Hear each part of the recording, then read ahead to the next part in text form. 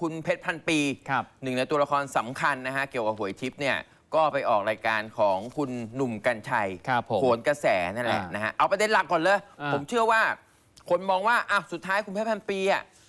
ยอมรับหรือเปล่าเออว่าไอ้เรื่อง 24 ล้านเนี่ย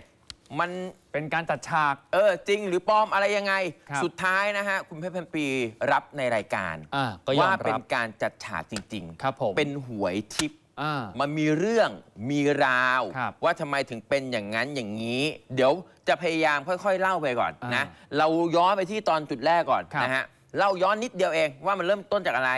เริ่มต้นจากว่าอะคุณนวัดอิสระไกรศีลอ่า บอกว่ามันมีการเอ่อ จัด ทำสัญญาทำสัญญา กับหงทองเรื่องมิดแกรน อะอันอันนั้นก็ข้ามกันไป เพราะว่าอ่าถ้าเราเรื่องนั้นอีกยาวอีกแน่ครับๆเราเอาแค่หวยทิพย์อย่างเดียวอะนะคุณนวัดบอกว่ามันมีการจัดตั้งมานะมีคนไปรับหวยทิพย์ครับนะฮะโดยที่หงทองเนี่ยไปจ้างวานคนมานะฮะซึ่งตอนแรกของหงทองก็บอกว่าไม่จริงอืม นะฮะจนสุดท้ายก็ยอมรับว่าจริง อ่า พอจริงเสร็จปั๊บคนก็มองตามต่อว่าอันแล้วตอนกรณีบิ๊กเอ็มอะเอออั อันนั้นน่ะจริงไหมถูกจริงหรือเปล่า หงทองตอนแรกก็บอกว่าไม่ไม่ใช่ เอออั อันนั้นนะถูกจริงอันนั้นถูกจริงๆถูอีกกจริง ๆ ถูกจริง แต่สุดท้ายบิ๊กเอ็มก็ออกมาบอกว่าไม่จริงครับ ครับ ไม่จริงครับจริงๆแล้วคือผมแค่แบบไปถ่ายรูปเออแล้วก็ได้เงินสนับสนุนเกี่ยวกับคอนเสิร์ตมาประมาณ 1 5 0 0 0 0 บาทครับนะฮะอ่า คนก็เลยตามต่อว่า เฮ้ย งั้นถ้าเกิดกรณีของบิ๊กเอ็มอะตัวละครมันเยอะนะ มีหลายคนใช่ไหมที่มันมีทั้งเรื่องของ ถูกรางวัลที่หนึ่งแล้วก็ไม่รู้ว่าตกลงถูกจริง หรือว่าใช่ จ้างมาถูกรางวัล ใช่ฮะ แต่ว่าเขาก็โฟกัสไปที่เรื่องบิ๊กเอ็มก่อนครับนะฮะ ตัวละครมีใคร มี CEO หงทอง อืมคุณวี ครับ มีตัวบิ๊กเอ็มเอง อ่ามีอาจารย์ลินลานีอ่าลินลาดา ลินลาดาอาจารย์นะฮะลินลาดาขออภัยอ่าแม่หมอตัวละครเยอะลินลาดาครับแล้วก็ผม มีเอ่อคุณเพชรพันปีอ่าคุณเพชรสี่พัปีคนนี้เป็นหลัก เขาก็ไล่มาเลย ครับ ไล่ทีละคนอะโอเคบิ๊กเอ็มยอมรับไปละว่าอ่าโอเคเป็นหวยทิพย์ครับ ต่อมาครัปบ รากฏว่าอาจารย์ลินลาดาออกมาตั้งโต๊ะ อืมก็ออกมาบอกอีกว่า เออ ก็ไม่ได้ถูกจริง ๆ เหมือนกันนั่นแหละ เออ ไม่ได้ถูกจริง ๆ เหมือนกัน ครับ แต่ว่าก็ยังไม่ได้บอกนะว่าตกลงทางหงทองเขามีลอตเตอรี่ตัวจริงหรือเปล่า อ่า แต่ว่าตัวเองอะออกมายอมรับว่าตัวเองไม่ได้ถูกจริงครับเออมันเป็นการเหมือนแบบถ่ายลงถ่ายรูป รีวงรีวิวเป็นข้อตกลงอะไรก็ว่ากันไปอ่าอะนะฮะเสร็จพอหลังปั๊บจากนั้น คนก็เลยตามกันดิว่าอ้าวงั้นเหลืออยู่ครับตัวละคร คุณคุณเพเพชรพันปีซึ่งคุณเอ้าเพชรพันปีก็ออกมาอัดคลิปอีก ครับก็บอกว่าเรื่องของน้องบิ๊กเอ็มเนี่ย เออจริง ๆ แล้วรู้สึกสงสารเออว่าจริง ๆ แล้วเนี่ย คือจริง ๆ คือมันเป็นการว่าจ้างกัน คือเป็นการ เหมือนเอาง่ายๆเหมือนคุณเพชรพันปีว่าจ้างอะ คุณเพชรพันปีบอกตอนถ่ายคลิปเนี่ยบอกเป็นความผิดของเขาเป็นความผิด ของเขาเอง น้องบิ๊กเอ็มอะไม่ได้แบบ ผิดร้อยเปอร์เซ็นต์อะไรครับอย่างนั้น อย่าไปลงโทษน้องด้วยการให้หมดสัญญากับทางช่องเจ็ดเลยอ่าอ่านะฮะคนก็เลยเริ่มมาโฟกัสต่อที่คุณเพชรพันปีแล้วอ่าเพราะว่าตั้งแต่เกิดเรื่องมาคุณผู้ชม ครับ ที่เล่ามาเนี่ยตั้งแต่ที่คุณนวัดออกมาบอกว่ามีกรณีหวยทิพย์มีการจ้างวานวันคนไปถ่ายรูป สมครับ อ้างว่าถูกรางวัลที่หนึ่งอะไรก็แล้วแต่เนี่ย คุณเพชรพันปีเป็นตัวละครเดียวที่แทบจะแทบจะไม่ได้ออกมาพูดอะไรเลยอ่าเออ ยังไม่ได้ออกมาพูดอะไรเลย ออกมาในคลิปเนี้ยนะฮะเออ แล้วก็นะฮะหลังจากนั้นก็มีลูกชายคนที่บอกว่าเป็นลูกชายเออ ออกมาไลฟ์นะฮะแล้วก็บอกว่าอะเหตุการณ์ทั้งหมดเนี่ยก็คือมันถูกจัดฉากขึ้นจริง เออ อ่าลูกชายออกมาตามนั้นบอจริกงๆมาบอกนะฮะ ว่าใช่ คุณแม่ไม่ได้ถูกรางวัลที่หนึ่งจริงๆๆอ่า เอาละคราวนี้ฮะ มันก็เป็นกระแสฮือขึ้นครัมาบอีผกม ว่า เอ้า งั้นตกลงมันจริงหรือไม่จริงอะไรยังไงอืมคุณเพชรพันปีก็เลยไปออกรายการโหนกระแสของคุณกัญชัยเมื่อวานนี้ครับผมแล้วก็ออกมายอมรับแล้วอืมนะฮะว่ามันเป็นหวยทิพย์จริงครับๆก็มีการถามกันว่าอ้าวแล้วทำไมที่ผ่านมาไม่ออกมาพูดอะไรเลยอะเออ คุณเพชรพันปีบอกว่าอ้าวก็คือเหมือนว่าที่ตกลงกันไว้อะทุกคนก็บอกให้ตัวเองเงียบๆเอาไว้ครับเออเหมือนเป็นการยืนเอาไว้คนนึงอะอ่าเออว่าให้คนยังแบบคิดอยู่ว่ามันถูกหรือไม่ถูกอะไรยังไงอ่าแต่คุณเพชรพันปีบอกว่าอ้าวหลังจากที่ตกลงกันมา กลายเป็นว่าเฮ้ย ทุกคนก็ผิดสัญญากันไปหมดเดี๋ยวบิ๊กเอ็มก็ออกมา อ่า เดี๋ยวอาจารย์ลินลาดาก็ออกมา อะไรก็จนแบบคุณเพชรพันปีรู้สึกว่าไม่แฟร์อ่า ทำไมเหมือนทุกคนเอาความผิดโยนมาให้เธอคนเดียว เออ เธอก็เลยไปออกรายการคุณกัญชัยครับผมเมื่อวานนี้นะฮะนะฮะอะอันนี้นะแล้วคือก็ คือเรียงลำดับกันมา สรุปไทม์ไลน์ให้สั้นเออ นะฮะ จุดเริ่มต้นคุณเพชรพันปีบอกว่ามาจากแม่หมอลินลาดาเนี่ยแหละ มาขอให้ คุณเพชรพันปีเนี่ยเป็นสปอนเซอร์ให้ครับจัดงานคอนเสิร์ตให้เราบิ๊กเอ็มนะฮะซึ่งจะจัดในวันที่ 3 ตุลาปีที่ผ่านมานะครับ แล้วก็ทางด้านคุณเพชรพันปีก็ให้สร้อยแล้วก็เป็นจี้เพชรไป หลังจากนั้นแม่หมอลินลาดาก็โทรไปขอหงทองลอตเตอรี่นะฮะห้าแสนบาทเพื่อเป็นสปอนเซอร์ หงทองให้มา3ามแสนห้าหมื่นบาท คุณเพชรพันปีก็เลยให้ไปอีก1นึ่งแสนห้าหมื่นบาท คืออย่างนี้อะต้องเล่าอย่างนี้เต๋อคืออย่างนี้คุณผู้ชมฮะ คือว่าหลังจากที่คุณลินลาดาเขาเขาเอางี้ต้อง เล่าเล่าความสำคัญของตัวละครของคุณผู้ชมนะครับ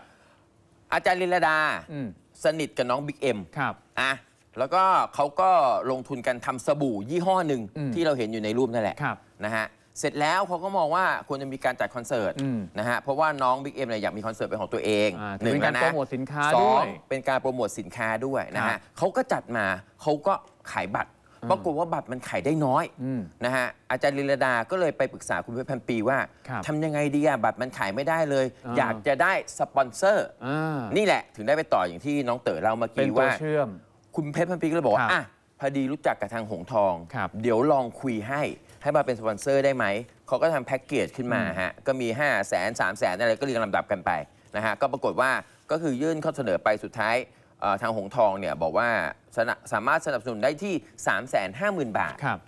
คุณเพชรพันปีก็เลยบอกว่า งั้นเดี๋ยวเพิ่มให้อีก 1 5 0 0 0 0เดี๋ยวให้เองครับแล้วก็ให้อย่างที่เต๋อบอกไปที่มีพวกสร้อยเพชรพวกอะไรใช่ไหมครับผมเพิ่มสร้อยเพชรเติมแล้วก็ขึ้นจี้ไปด้วยเพชรเพิ่มเข้าไปด้วย อันนี้คือเรียงแบบเอ่อตามเอ่อความสัมพันธ์ของตัวละครครับทั้งหมดผมนะครับมันก็เลยเกิดเหตุการณ์มาอะอืมเต๋อเล่าต่อเลยนะฮะพคอรับหลังจากนั้นมาเนี่ยก็อย่างที่บอกครับผมว่า สำหรับกระบวนการจัดการหาลอตเตอรี่ออนไลน์เนี่ยนะฮะตนก็บอกว่าถามหงทองว่าแต่ละงวดเนี่ยมีคนที่ถูกรางวัลที่หนึ่งมารับจริงหรือไม่นะฮะเพราะว่าหลายคนก็อืมอย่างที่พี่ก๊อฟบอกนั่นแหละเขาอยากรู้ว่าที่จ้างมาเนี่ยจ้างมาถูกตกลงอะลอตเตอรี่ใบจริงน่ะมันมีหรือเปล่าเออมันมีหรือเปล่า แล้วจริงๆมันถูกมันถูกถูกทุกรางวัลไหมครับ เออ นะฮะ ซึ่งอืมเอาจริงๆ เมื่อวานนี้คุณแพทย์เป็นปีเล่ามา เขาก็บอกว่าทางหงทองเขาก็ยังยืนยันอยู่นะว่า ก็มีถูกนะ เออเขาบอกว่าก็มีมีทุกถูงกวดนะ เกือบเขาใช้คำว่าเกือบเออเออเกือบทุกงวดนะครับเขายังยืนยันอยู่อืม นะฮะมันก็เลยเนี่ยเป็นเรื่องเป็นราวนี้ขึ้นมา แต่หลาย ๆ คนเขาก็เลยสงสัยว่าอะแล้วสี่ตัวละครเนี้ยตกลงอะคือใครได้อะไรยังไงบ้าง อืม เราเรียงลำดับแบบนี้คุณผู้ชมนะ อันนี้คือวิเคราะห์ถึงความน่าจะเป็นนะครับ ไม่ได้ฟันธงไปว่ามันเป็นแบบนี้ร้อยเปอร์เซ็นต์นะฮะไปที่น้องบิ๊กเอ็มก่อน น้องบิ๊กเอ็มน่าจะเป็นอย่างนี้คุณผู้ชม คือว่าความที่น้องอะก็คือยังเด็กนั่นแหละครับ นะฮะแล้วก็อาจารย์ลินลดาเนี่ยชวนมาเป็นหุ้นส่วนสบู่ยี่ห้อนี้อืม นะน้องก็คงมองว่า เอออะไอการที่เรามาถ่ายรูปเป็นคอนเทนต์หรืออะไรอย่างนี้เนี่ยครับ มันก็มันก็ เป็นส่วนหนึ่งของการโปรโมท เป็นการโปรโมทสบู่อืมนะสองก็คือว่าถ้าหากว่าเป็นมาเป็นข่าวขึ้นมา ครับ เอออย่างน้อยมันน่าจะช่วยกระตุ้นยอดขายบัตรได้ อ่า เอออะไรประมาณแบบนี้นะคุณผู้ชมนะ มันเรียงลำดับไปแบบนี้นะจะได้เรียงว่าแต่ละคนเขาได้อะไรอ่ายัยังไงกันไปเขาถึงได้มาทำเคสพวกนี้กันนะฮะประมาณนี้ อาจารย์ลินลดาล่ะ ครับ อาจารย์ลินลดาเนี่ยก็มีความเป็นไปได้ไหม อืม เป็นไปได้ไหมนะ ว่าอาจทำเพราะว่าเออแน่นอนละอันดับแรกเอ็นดูน้อง อ่า อยากจะช่วยน้องสนับสนุนน้องครับ นะครับ ก็คือคอนเสิร์ตจะได้ขายบัตร ได้ดีขึ้นอ่ารวขายบัไปตรถึได้งแบรนมด์สบู่ที่ตัวเองร่วมหุ้นกับน้องบิ๊กเอ็มด้วย ได้โปรโมทสบู่ด้วยครับนะฮะแล้วก็จะได้เป็นการหาสปอนเซอร์มาสนับสนุนด้วยอืมนะฮะอีกอย่างหนึ่งคือว่าอาจารย์ลินลดาเนี่ยเขาจะเป็นแบบว่าเป็นเป็นประมาณว่าเป็นพวกหมอดูครับใช่ไหมอ่าอจอริงๆเขาเรียกแม่หมอรินลดาอ่าแม่หมออะไรอ่าประมาณนี้นะฮะอาจารย์ก็คงมองว่าอะโอเค ถ้าเกิดว่ามีข่าวเกี่ยวกับว่าถูกรางวัลมาเนี่ยอืมมันก็ดีสำหรับ เอ่อคนที่ Follow ตัวเองด้วย ครับถูกไหมเหมือนแบบว่า เอ้ย ถูกรางวัลคนก็จะมีความเชื่อถือ ครับ เข้ามาตามเพจด้วยอะไรก็ว่ากันไป นี่คือในส่วนของอาจารย์ลีลาดา อืม ว่าน่าจะเป็นประมาณนี้หรือเปล่าครับนะฮะคุณเพชรพันปีล่ะ อืม คุณเพชรพันปีเนี่ยอันดับแรกเลยก็คงว่ามองว่าเป็นการช่วยเหลือครับเป็นเรื่องของมิตรภาพ อ่า ก็คือหนึ่งได้ช่วยโปรโมทให้หงทองด้วย อ่าด้วยความสัมพันธ์กันอ่าระดับไหนอะไรยังไงเราไม่รู้ครับผม นะฮะสองอ้าว ได้ช่วยอาจารย์ลินลดาด้วย อ่าเพราะว่าคอนเสิร์ตมีปัญหาอยู่ ครับสปอนเซอร์ไม่ครบ บัตรขายได้ไม่เยอะอืมอะสามได้ช่วยน้องบิ๊กเอ็มด้วย อ่าเออนะฮะเพราะว่าก็เอ็นดูอยู่เพราะว่าน้องเป็นเด็กน่ารักอะไรครับ ประมาณนี้นี่แหละนะฮะ มันก็เลยเรียงลำดับกันมา ว่าแต่ละคนทำไปเพื่ออะไร ครับอันนี้ความน่าจะเป็นหรือเปล่านะ อ่าอันนี้เราเล่าให้ฟังอะนะฮะ ครับส่วนของผม ทองแน่นอนอยู่แล้ว เขาก็อยากจะโปรโมทอยู่แล้วว่า ทางเอ่อซื้อลอตเตอรี่กับเขาก็มีโอกาสที่จะถูกรางวัลสูง อ่าก็คือเป็นเรื่องของการนะฮะตลาดนั่นแหละอืม นะฮะมันถึงได้มีเคสนี้เกิดขึ้นมา ครับ แต่ว่าเรื่องเนี้ยผมบอกเลยคุณผู้ชม มันก็ยังไม่จบหรอกนะ อืม เพราะว่าพอคุณเพชรพันปีออกมาพูดแบบนี้ปุ๊บเนี่ยเดี๋ยวสุดท้ายเนี่ยเออไม่แน่ใจว่าเดี๋ยวทางหงทองอะจะออกมาชี้แจงอะไรอีกหรือเปล่าก็ไม่รู้ อ่า เพราะว่าเอาจริงเนี่ยเมื่อวานนี้ตอนที่มีการสัมภาษณ์เนี่ยทางคุณเพชรพันปีก็ยังบอกอยู่นะครับว่า ก็ไม่แน่ใจอืมว่าเอาจริง ๆ แล้วอะไอ้ลอตเตอรี่รางวัลที่หนึ่งสี่ใบนั้นอะมันมีอยู่จริงไหมอืมหมายถึงว่าเป็นของหงทองจริงๆไหม หรือว่าไปเอามาแล้วก็มาถ่ายเพื่อโปรโมท เออ อันเนี้ยนะฮะ ถึงบอกว่ามันยังไม่จบหรอกครับ เดี๋ยวคงต้องรอหงทองมาแถลงรายละเอียดอีกทีหนึ่ง อันนี้อ่าเราวิเคราะห์ความน่าจะเป็นให้ฟังนะอ่าว่ามันเกิดอะไรขึ้นกับ 4 ตัวละครนี้ กรณีหวยทิพย์